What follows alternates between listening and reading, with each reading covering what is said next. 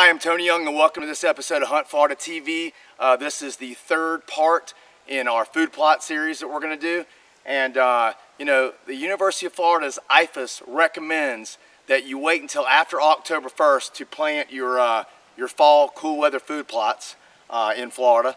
Uh, another thing, you, you want to plant your plot when the soil has got some moisture in it, which it rained a couple days ago, so the soil's got some good moisture in it. And also, you want to plant your food plot when there's rain in the near forecast, which uh, it looks like we're going to get some rain later this afternoon. So today's a perfect day to, to plant.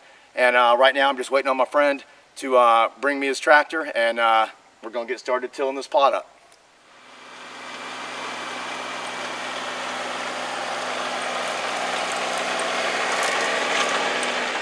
When thinking about good food plot sites, avoid excessively wet or dry areas. Look to create these plantings along an edge where upland pines meet a hardwood drain. Follow the contour of the land, and when possible, create them where the length of your plot runs east-west. That way, your crop will receive the most direct sunlight. All right, we're gonna uh, we're gonna plant our plot uh, this year with uh, triticale.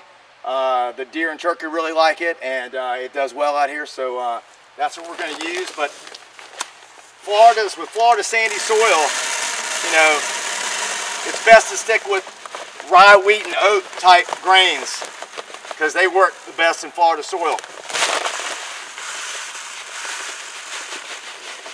I like to use these five gallon buckets to help me get it in here better.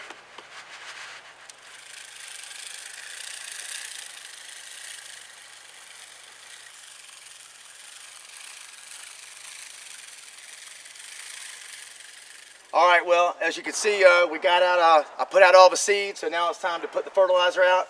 Uh, I'm choosing 13, 13, 13 this year, and I like to kind of do uh, uh, two pounds of fertilizer for every one pound of seed. So we're about to do that right now, and let me go ahead and put on this little mask here.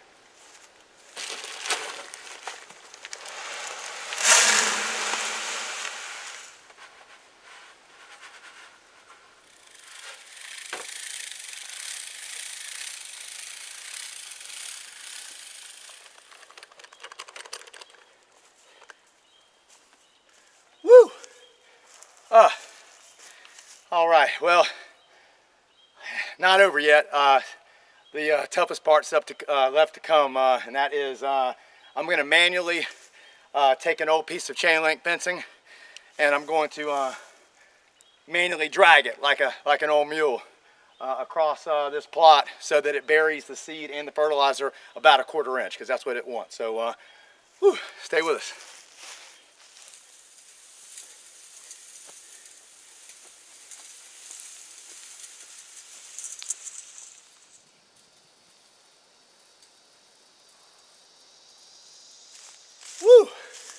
Well, we got uh, we got our plot in the ground, got the seed, uh, got the fertilizer. Everything's covered about a quarter inch, just perfect. So uh, thank you for tuning in to this uh, final episode on food plots. And uh, come the end of October, uh, I should have some nice green grass coming up out of the ground, and the deer and turkey are gonna love it. and if you can't tell, it looks like it's gonna rain any minute, so perfect timing. So again, thank you for tuning in. happy hunting this year. Oh, and if you don't have a tractor, make friends with someone who does. Uh, we'll see you next time.